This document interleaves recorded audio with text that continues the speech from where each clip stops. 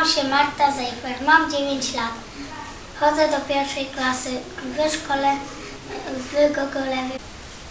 Opowiadam książce o małym misiu. To są przygody małego misia. Stare misie nie chodzą po drzewach. To było tak. Mały miś i mama poszli do lasu. Mały miś zgubił tatę.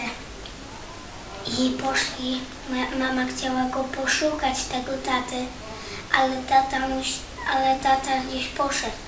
Mama musiała zwolnić się na trzy dni. Poszli, poszedł mały miś do babci i dziadka, ale się bał ich.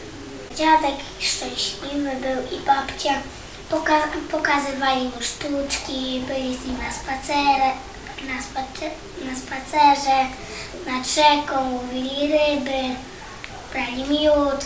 Dziadek, dziadek, dziadek próbował mm, mu pomóc łowić ryby, uczył go. Te ilustracje były bardzo fajne. Zobaczcie sobie sami.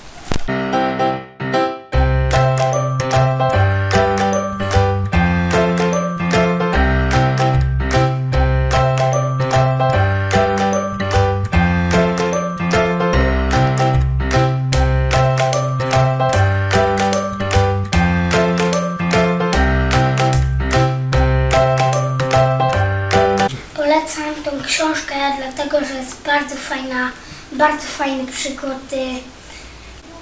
Jak przeczytacie tę książkę, to się dowiecie sami, co tam było. Pa, pa!